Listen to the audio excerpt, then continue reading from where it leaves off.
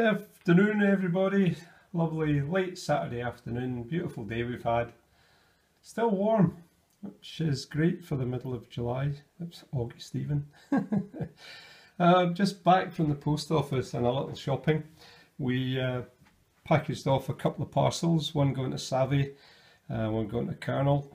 Um, after he blagged that Barber quarter of me. Had it in my hands for two days and now it's palmed off to the States again.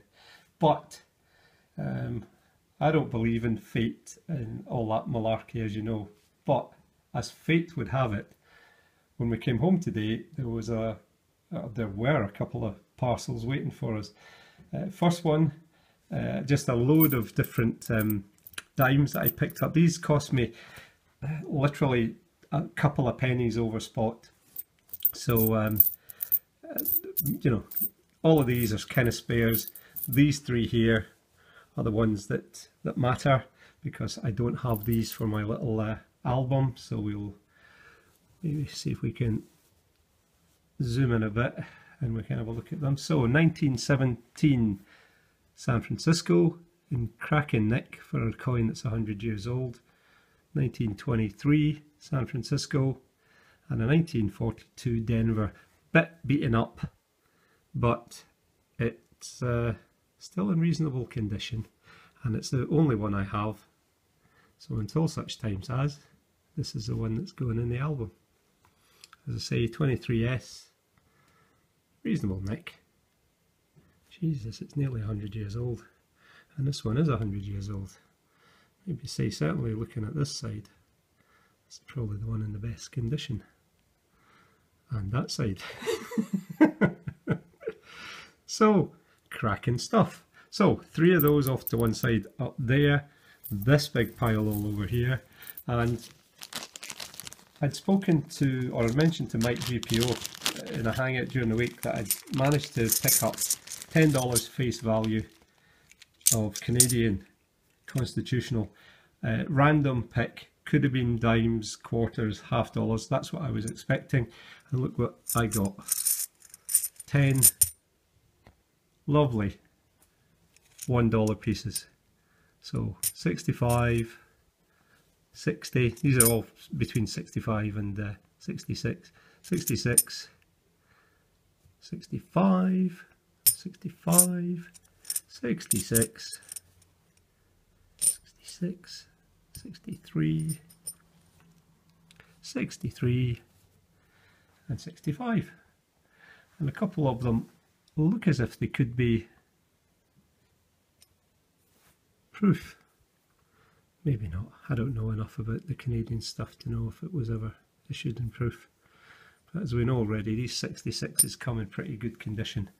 So uh, that lot uh, cost me just over £90 sterling, which I suppose 9 quid for 0.6 of a... Mm, uh, I, I, was happy with it because we can't buy this stuff over here. And I literally thought I was going to get a bag of dimes. So when I ripped it open and saw that it was all full dollars in all spectacularly good condition. Oh, oh, isn't that just perfect? But I've kept the last or kept the best until last let me pop that in the middle. Oh wow, this is all looking very familiar. There it is. I managed to get another one of these little buggers. So before you send an email to me or before you comment, Colonel, you're getting the one I had last week. This one I'm keeping.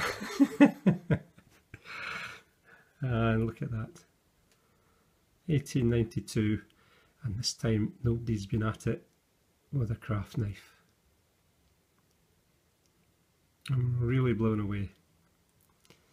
I'd be lying if I said I got this at Spot. I'd be lying if I said I got it anywhere near Spot. but, as we say around here, least said, soonest mended.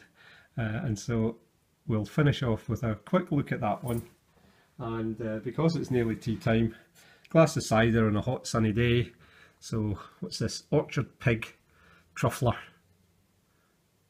from the West Country down in England. So good health to you all. Lovely. Pop that there. And uh, we'll see. please like, subscribe and comment. Let me know what you think. Tell me what a lucky bugger I've been finding two of these crackers in a week. Hey, it's a crazy old world. Until the next time, have a good one everybody and uh, take care. Enjoy the rest of the weekend.